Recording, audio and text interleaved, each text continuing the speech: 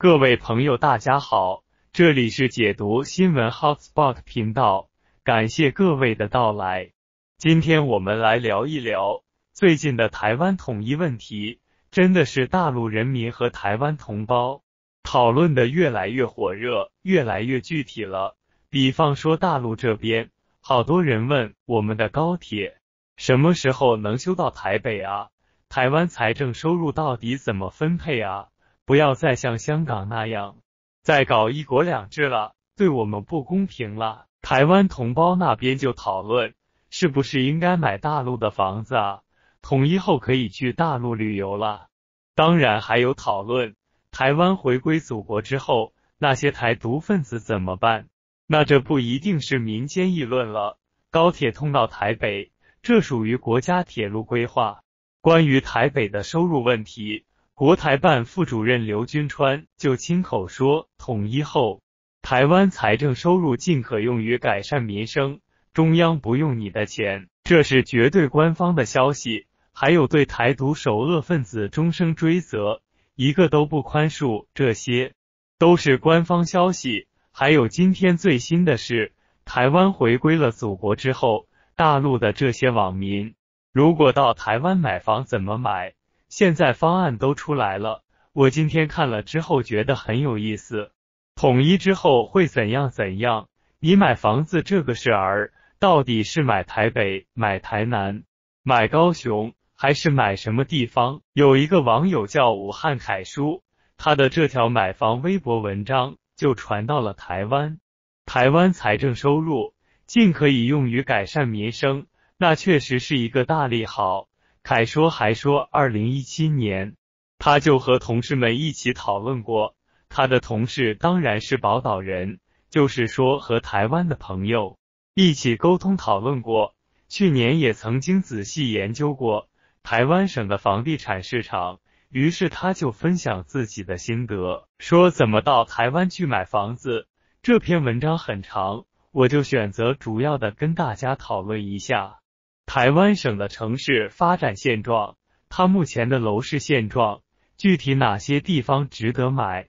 武汉凯叔认为，台北经济圈虽然比较大，但是它的地方小，房价也过高，这就有点像大陆这边的北京。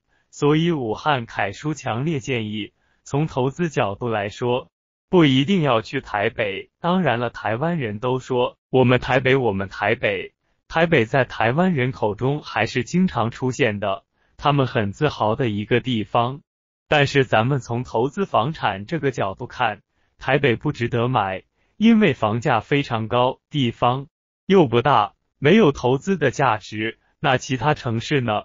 台南，台南这个地方，至少是台湾回归祖国之后一段时间里面，武汉凯叔建议不要到那去投资。因为台南那个地方是深绿大本营，那个地方很多人就算回归了祖国，那个地方不友善，暗藏着反革命，暗藏着台独分子，暗藏着那些他就捣乱破坏，所以统一之后社会治安可能有点麻烦，所以在那个地方搞不好要搞镇压反革命，镇压反革命就是今天之台湾的反革命。那就是那种死硬的台独分子，强烈变态的心理，充满仇恨的反统一的人。那如果台湾统一了之后，你们还在那个地方捣乱，那就必须以人民民主专政应对之，那就是另一个问题了。你说你在那买了房子，到时候有人到你们家去烧房子、杀人放火怎么办？所以呢，这个武汉凯叔他说不建议到台南去。因为台南是深绿的大本营，那高雄这个地方怎么样？高雄，台湾人说我高雄建的早一点，城市过去非常漂亮，是过去非常漂亮，现在非常老旧。现在老旧的房子，按照现在我们中国大陆的城市建设面貌，你就要拆迁，那拆迁就难了，而且它距离中国大陆。是三大经济圈里最远的那个，那就需要建设跨海大桥。跨海大桥可以建，但成本比较高，所以高雄这个地方不好直接连通。另外，高雄这个地方，它的街区比较老旧，产业比较老旧，相对于台中，相对于台北高新产业，高雄这个地方就属于已经淘汰的。按照中国大陆目前的说法，叫淘汰产能比较多，因此这个地方已经日落西山，夕阳西下，所以这个地方也不建议投资。当然，那这可以说是排除法了。上面那些地方都排除了，还剩哪里了？就只剩下台中了。台中那个地方好，台中这个地方我们分析一下：台中，台湾的台中，北京的东城、西城、南城、北城、大兴、海淀、顺义。各位如果到台湾买房子，建议买台中。台中是盆地，盆地面积比较大，面积多大呢？面积是四百平方公里，是台湾最大的盆地。应该说地理位置比较优越，而且西边有台中港，直接面对中国大陆。那个地方直接发船到哪里去呢？直接发船到中国大陆的泉州，直对着台湾的中心。台中是台湾最中间的，属于台湾的心脏，台湾的正中心。到台北到台南都不远。所以这个地方就相当于台湾岛的中心的位置，在这个地方买房子，地理位置有这样的优越条件。第二个呢，台中它已经建成了，很多城市比较新，建了很多新房在台中。朋友去过台湾的，回来之后就跟我说过台中，说台中那地方确实感觉新一点，没那么老旧，而且现在的房子还没有建满。空地也比较多。统一之后，如果想开发一个全新的城市，现在大家就可以考虑了。台中如果建一个全新的城市，只有台中这个地方有足够的荒地可供开发。至于拆迁的阻力，那荒地的拆迁阻力也没那么大。还有第三个台中的有利条件，就是说这个地方相对位置房价不高。新房价格均价在两万四左右。如果这个地方重点开发向上的空间，利润空间会比较大，升值空间比较大。跟台北一比起来，台中的房价那是非常有优势的。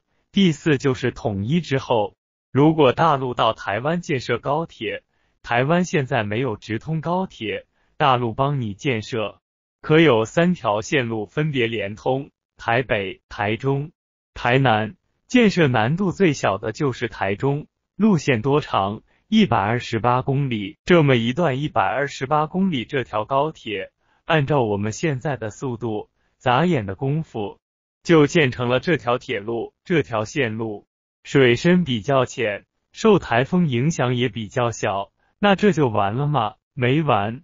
还有台中这个地方人口净流入。全省人口第二大，GDP 全省排第三，产业层级比较高，还有台中的大学比较多，科研实力也比较强。当然，这些都不是我说的，这些都是武汉凯叔说的。我看说的有道理，说台中不单单房价均价便宜，而且地理位置优越，可开发空间巨大。他觉得如果买房子，第一是台中，第二是台中。第三还是台中，台中那个地方还可以考虑建一个比较漂亮的市场，漂亮的市场可以把台湾的闽南的文化、高山族的文化，把大陆的文化悉数纳入进来，可以弄得比较紧密，类似于宽窄巷子，类似于武汉户部巷。如果你是武汉人，那你肯定是要到武汉户部巷，到户部巷干嘛？那当然是去吃。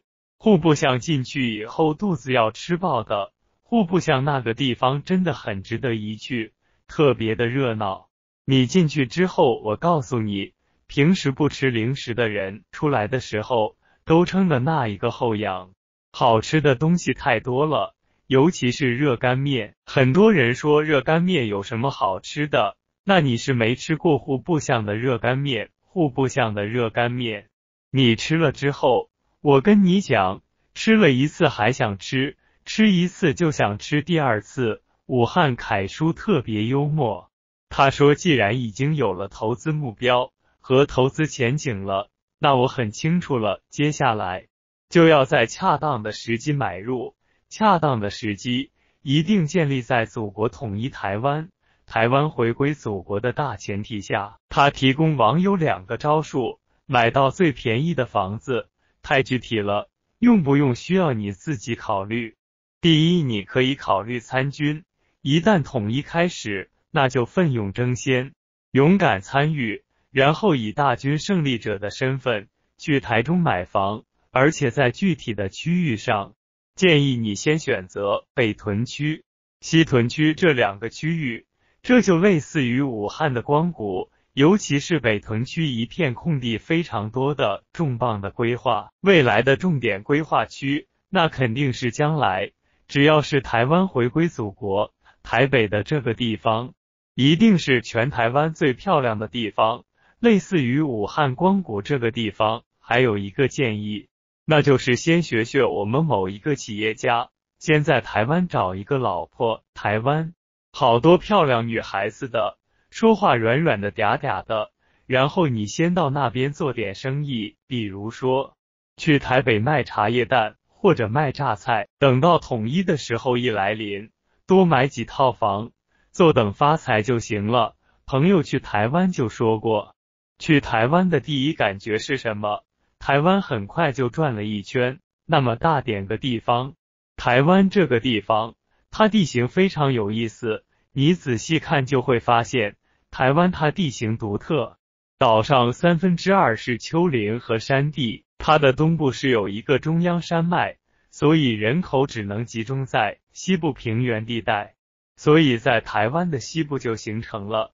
目前台湾比较重要的六个大城市都在那儿：新北、台北、桃园、台中、高雄、台南，其实都是在西部。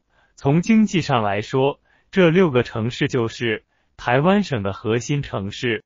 我们要买房子的话，应该可以从这六个城市里面选择。根据武汉楷书的说法。台中是你最先要考虑的，但台中的人自己夸的时候，美女在台北，我们台中的美女更漂亮。有人可能会说，真的有可能就到台中买房子，到台湾买房的这个地步了吗？未雨绸缪，我告诉各位，要说对经济形势敏感度，对经济形势的理性分析，如果说最应该问谁的话。卢克文就说两类人最牛，什么人？一类是发改委的官员，国家发改委乃至各个层级的政府里面的发改委官员，他们对经济形势的一个了解，那是建立在理性基础之上的，规划基础之上的，有前瞻性的，而且用数字来说明问题。因此，了解一个地方的状况，发改委的官员，你跟他聊。能得到比较深度的经验。第二个就是地产商，地产商他对这个地方的了解，那肯定是结合了背后大佬透露的政策，再加上深入实地考察。比如说这个武汉楷书，他是干嘛的呢？我估计他就是地产圈里的人，规划的、建房子的、造房子的，哪怕是销售房子的，那对这个地方也是相当了解。现在人家有远见，有先见之明，就开始准备上了。但是他的这个文章出来，我个人解读之后，还是想跟大家说，不要去炒房了。你想在台湾买个房自住就好了。现在大陆都一直在说房住不炒，就不要把资产又转移到台湾，跑台湾炒房，弄的泡沫一大堆。房子是用来住的，不是用来炒的。将来台湾回归祖国之后，台湾同胞，尤其是年轻人，可以到大陆这边来工作生活。我们大陆人也可以去台湾生活工作，这岂不是很美好的事情吗？好了，今天的节目就到这里，朋友们有什么观点呢？欢迎评论区下方留言。感谢各位的观看，下一期我们不见不散。